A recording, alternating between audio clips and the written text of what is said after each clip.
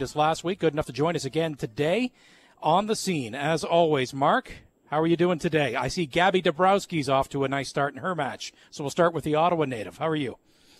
Uh, I'm great. It's great to have uh, Gabby on TSN 5. Um, you know, it's doubles doesn't always get the limelight that singles does, but um, she is, as we talked about last week, one of the great ambassadors of the sport for the country coming off a great come from behind victory in the third round just to get into the quarters. And uh, it was great having her on set after that win and just to, to talk about her play, uh, taking in the tournament, being a, obviously a big fan of Leylah Annie Fernandez. They have played doubles together, so that's really special for her. And um, this Dabrowski has an opportunity here to win her first Grand Slam title in, in doubles. She's won a couple in mixed doubles, but um, yeah, looking forward to seeing how she does today. All right, uh, Gabby and her partner took the first set 6 4, and they're uh, back on serve now early in the second set of that uh, quarter-final match. So we'll continue to update now that that is uh, well underway. Uh, but we're going to go back in time to yesterday, Mark, and what a day it was uh, for you to just to be there to cover that. You get to speak to them right afterwards as well. And it's not just us Canadians and sports fans that are taking notice. I mean, Magic Johnson is tweeting about Leylah Fernandez. Uh, that's happening here. And Felix gets a bit of a walkover due to injury last night here. But let's start with Leylah. And I asked you about her last week when she started to, you know, do some things and wondering, uh, you know, how far she could take this. I didn't see this coming. None of us did, to be fair. But I've watched more of her tennis in the last week than I have in her career so far. It's she sucks you in as a as a viewer of sports with her infectious energy on the court and how she always has a positive body language, whether it's going well or poorly in the moment. You know, how much fun is it to watch her in person uh, as she's on this journey right now? So much fun, you know, and it's one thing to be there when a Canadian does well. It's another thing when that Canadian also plays a, a style of, of play that is infectious to, to, to watch, to enjoy. I, I don't, I'm trying to find the, the right term to describe who she is. I don't charming assassin, like because she sucks you in, as you pointed out, and she goes for those big shots, and she has taken down three massive players here in Osaka, Kerber, and Svitolina, all players who are great. You're talking about two of them who have won this tournament before, and she's she's done it in different ways. She's had to do it in different ways because they're all different opponents. And now she faces Sabalenka, who's a big server, and, and she'll try to do the same thing. She'll try to neutralize a big serve and frustrate her opponent. And she's done a very good job at frustrating her opponent and also done a very good job at winning over the crowd here. And it changed in the Osaka match where 20,000 fans arrived at Arthur Ashe Stadium there to see Naomi Osaka, the two-time U.S. Open champion, and they left talking about Leylah Annie Fernandez, and they're all you know, so captivated by her. Just like the whole country right now is captivated by her. And, you know, I turned on ESPN Sports Center this morning in my hotel room, and there she is, you know, as one of the lead stories. And she was on the cover of the program. And how can you not fall in love with her story? And how can you not just admire the way that she's playing, how she's handling the pressure, handling the moment, and also living the moment and enjoying every, you know, part of this run. And I, I think that that has helped her a lot in, in some of these instances where she's had to really dig deep and find a way to get herself out of some issues and matches. Yeah, and earlier, Mark, I compared her kind of personality and the way she plays to Brooke Henderson, the female golfer that's kind of local to the Ottawa yeah. area. But the the I guess the humbleness, but the confidence that you could see uh, how when she needs to make those plays, she rises to the occasion and she gets it done and she battles and she doesn't quit. And then she's talking about being surprised to get there and, and just being so nervous. And it's like you don't see it in her because of the way she plays and she's just always in the match. And it's just so unique, but so cool to see. Yeah, and and even before this tournament, I would say that she's got this quiet confidence about her, and that her standards are so high. And, and maybe now talking to her a little bit more through this run, maybe it's not so quiet because how many times has she said, you know, I, I believe that I belonged here from the get go. I believe that I could beat o- Osaka as soon as this match began. And it's kind of a bit of this confidence of walking onto the court and knowing you've put in the work and you've done the work and you know that you have a game plan that if you execute it, you could be successful. And not every player has that. And I hear all the time about how Leylah Annie Fernandez, I've only seen her play a couple matches, but I've seen her practice, and wow, is that a show that she puts on in practice? And and not to make an unfair comparison, but the the same thing is said about Rafa Nadal. So I don't know if we're going lefty to lefty, and and I know that she looks up to Nadal, who doesn't look up to Nadal. But you watch his practices, and you you're breaking a sweat just standing there. Um, she's kind of the same way, and she knows that she's had to outwork every player because she's not six feet tall and she can't, you know, hit the the biggest booming shot on tour. Although some of her shots she gets a lot of power, and she just runs you off the court. And I, again, she should be the underdog in the semis, but then again, why? Like she's going to make us all look stupid again by saying that she won't win. So I, she's got a great chance at making a Grand Slam final, which, like all of you guys, I did not say a couple days ago. Oh, it's it, has been so much fun though. So you you're on site and you you've had the opportunity with your coverage, Mark, to you know watch this in person, but also uh, I've watched a lot of your coverage. Just pick the brain of a who's who in tennis and and talk about not just Leylah but other Canadians, but just to stay on point with Leylah. From what you have surmised here, one of the most impressive things for me is she is not a huge human being she generates a lot of power out of that frame. Is it rhythm, technique, footwork? You know, how is she able to, um, you know, fire back and go toe to toe with ground strokes with with some women that are known for that? And I don't know, is she surprising some of her opponents with her power right now? Probably. I think that she's part of being, uh, and she's not a rookie, but uh, the first time that she's gone on a real serious run at a Grand Slam, part of that is the unknown and maybe Bianca had that a bit two years ago.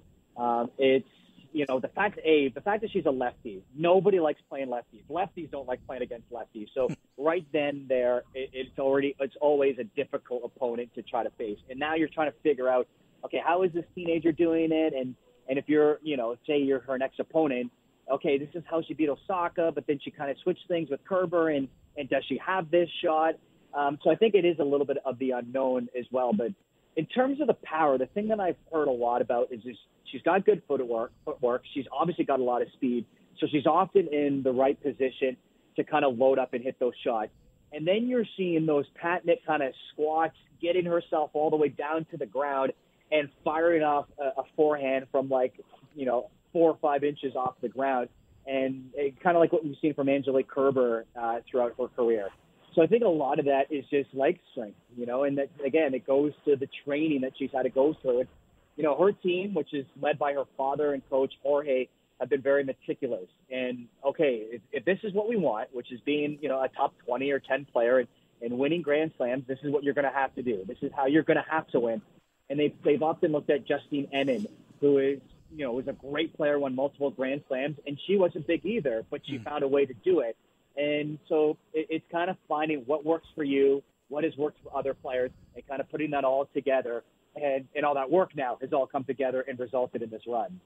Yeah, and, and, before we get to Felix, I just want to ask you on a personal level for someone that's covered, you know, so many of the major slams and, and tennis for a little while now. How exciting is it for you to just be there and see Leylah Annie Fernandez and Felix and, and all the Canadian success and hearing the comments from John McEnroe about, you know, Canadians are hockey players and, and not tennis players, but just being there and around. And I'm sure you're getting your brain picked a bit from some other people about who these kids are and who everyone is. But the excitement level it is for yourself and just just you know being such a huge fan of the game, how awesome it is to see Canadians having the success they are right now with Leylah and especially Felix and and even Gabby Dabrowski at that time now. Well, what Canadian doesn't like hearing that an American is envious of them, right? You know, that's that's, that's always fun. Uh, that's kind of a flaw we have. well, and we're getting it a lot, and we got it a couple of years ago.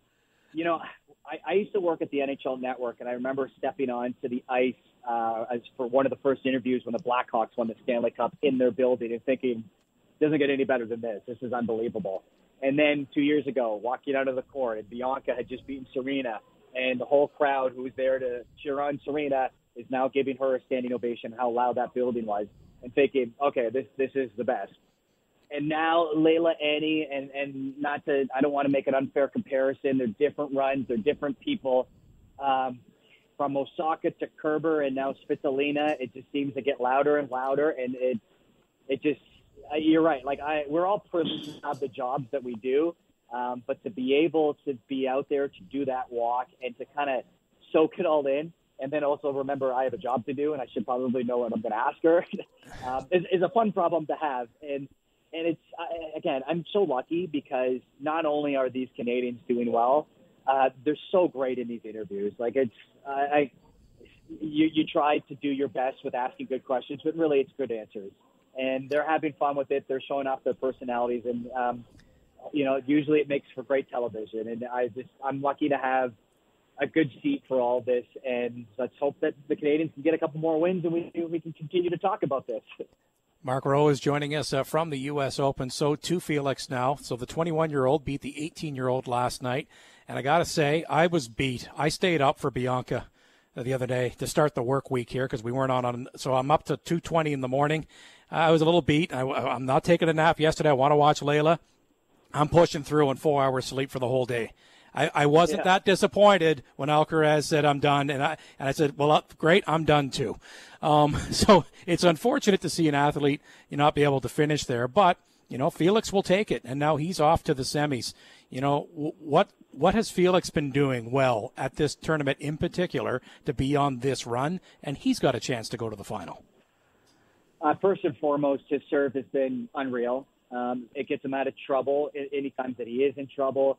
Um, it keeps him in control. The moment he got that break in the first set, you felt like there was no going back at that point. Uh, I think that his net game has been maybe the bigger story. That suddenly he feels a little more comfortable going to the net. So when you follow that up with a big serve, suddenly your opponent, you know, has to hit a great passing shot, and sometimes you know, players can do that on Felix, but it, it, it, it, it takes a lot to be able to do that consistently. And again, I think consistency is also the big word. We have talked so many times about Felix with a great performance, and then the next match, it's what happened there, you know, and, and we've seen glimpses of why everyone says this guy's going to win multiple majors. The fact that he has now had five consecutive matches and played well is huge. Um, it's a great opportunity now against Medvedev that he's playing this well to be tested against who I think on this surface is the best player not named Novak Djokovic.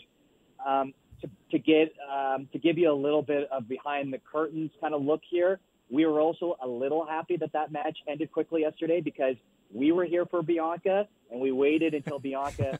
you had to work. Came, well, she came out of the trainer's room, and some players say, "No, Mas, I'm not talking to the media." She came out and uh, we we did an interview with her, and our heads hit the pillow at 4 a.m. that night, and then we were back here in the morning. So, um, yeah, again, we had we had to scramble to get down on court. To be honest with you, we were not in position whatsoever. Nobody was in position. ESPN was kind of, you know, running around with their chicken cut, cut, uh, heads cut off. So. Um, anyways, yeah, it, it's not the way you want a match to end, but there was no doubt who's going to win that match. I believe and uh, it just gives them maybe a, some extra time to recover for what will be a huge match in the semifinals. How much do you think that's going to play a factor too, uh, uh, heading into a, a, more favored Medvedev? But the fact that Medvedev played four full sets, and you know Felix got a, an early exit you're later on in the tournament, how much of a factor do you think it plays into their matchup? Uh, probably only a little. Like they get the extra day off, so they don't play till Friday. So that should be more than enough time. Although, if if you want to get honesty from players. Any chance they can get to not play an extra set, they'll take it at this point because they've, you know, they've now played five matches and they're near the end of the season. So it helps, but I think both players will be relatively fresh for a semifinal, and I'm, I can't wait for it. Um, I joked on court with Felix. I feel bad for the tennis ball because they're going to tear the cover off of that thing. Like it's going to be big shot after big shot. And again, this is a great like the timing is great for Felix to test his game against such a great player in Daniil Medvedev, who reached the U.S. Open final just two years ago. Yeah, we, we say big boy hockey when two physical teams uh, hook up. That's going right. to be big boy tennis. That's that's going to be uh, a, a, lot of fun to watch. And during that interview, um, just your thoughts on this aspect as well. Felix mentioned he has played him before in a tournament, but I thought it was interesting that he's practiced with them quite a bit. So there's a bit of course knowledge uh, between these two players through maybe their practice habits here. You know, I, I wonder what you know what how that might factor in for both of those players. They would know each other a little bit more than some other players on tour, having practiced together quite often. Yeah, and that's one of the unique things about tennis is that if you play on tour long enough, you probably practice with most most players that you're going to play against, um, just out of convenience, or sometimes you're playing an opponent that has similar attributes to the one that you know you're about to play. I, I think on top of that, having Tony Nadal, who's Rafa Nadal's uncle, and obviously was his longtime coach before he retired from that position a few years ago, there for the experience and knowing what Rafa has done against Medvedev. And again, Felix and Rafa are different players. One's a lefty, one's a righty. I think that helps him a little bit too. And I, I think that is the biggest bonus to having Tony Nadal as part of your coaching team, on top of Frederic Fontang, who's been there for a few years now with Felix, um, to pick his brain about not just playing Medvedev, but okay, so I'm in a I'm in a Grand Slam semifinal for the first time. Like, what should I expect? What what will be different? What what are some of the, you know, what, what's the advice that you gave Rafa when he was 19 and 20 in, in the same situation? So I think that helps. Um, I think the book is out on all these guys at this point. They all know what their strengths and weaknesses are. So, um, you know, both guys know what they're going to try to accomplish. Whether they're able to do it or not is another thing. Uh, but I, I think it's going to be a really competitive match. And I, I, again, I like two weeks ago, if you had told me he was going to play Medvedev, I would have said probably doesn't, you know, he'll probably lose. Maybe he'll push it to, to three or to four or five sets. I I think Felix has had a, guy has a real good chance here to win the semifinal. Well, and we thought a lot of things two weeks ago. We didn't think Leylah would be going this far, right. and uh, you know, even if this is it for the, what what a, what a fortnight here for Canadian tennis uh, as well. And I just I just think of this be the last point today, Mark. I always appreciate when you join us. And I was discussing this earlier. I, I grew up a big tennis fan. I used to watch Wimbledon and U.S. Open, and a little bit older. Uh, my guys were Mats Wilander and Stefan Edberg, and I followed the Canadian guys. But you know, Andrew Sznajder and Grant Connell and Glenn Michibata, and going through that era, we we didn't have it at this level. Um, like with this kind of golden age of tennis with both the men and the women here, what's this going to do for our youth in this country picking up rackets? Like, uh, you, you can't quantify that. What, what we're seeing right now at this particular U.S. Open with so many impressionable kids tuning in and cheering on Canadians. Yeah, and and hopefully it just leads to more kids playing tennis and more kids sticking with tennis and seeing, you know, I'm a pretty good player, and if you know, Bianca Andreescu, who's from my same hometown, can do it, well, then why can't I do it? Or I'm from Montreal, and Felix Auger-Aliassime is one of the best players in the world, then maybe I got a shot as well. I, I think you're right. It's great. I think they all have been, and I'm going to use the, the term ambassador as well, again, like I did with Gabby, so well. And you saw that out of their mouth right away. Bianca, Denis, Felix, they've all said it. You know, we want to inspire the next generation of, of Canadian tennis players.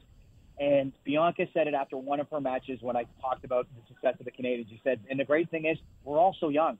You know, like Bianca's 21. We kind of almost treat her like she's a veteran at this point. Felix is 21. Uh, you know, Leylah just turned uh, 19. They, they, you know, God forbid any kind of serious injuries, they should be here all the time. Um, Denis Shapovalov, to his standards, didn't have a great tournament. He'll be back, and he'll have more deep runs. Um, so this is great. This is great for the sport. And again, let's hope that it just leads to more young athletes and maybe specifically more young girls. I know Tennis mm. Canada has, has a big marketing campaign right now that the, the participation numbers really drop off around 12, 13, 14. And seeing a Leylah Annie Fernandez play at this level on this stage hopefully keeps them playing a little bit more than we've seen in the past and maybe inspire someone around that age to pick it up uh, as well and, uh, yeah. and, and see where it goes as well. Mark, uh, as always, appreciate it, my friend. Thanks for joining us, and uh, we'll be following along. Thanks very much. Thank, thanks so much, guys. I appreciate it. Have a great show.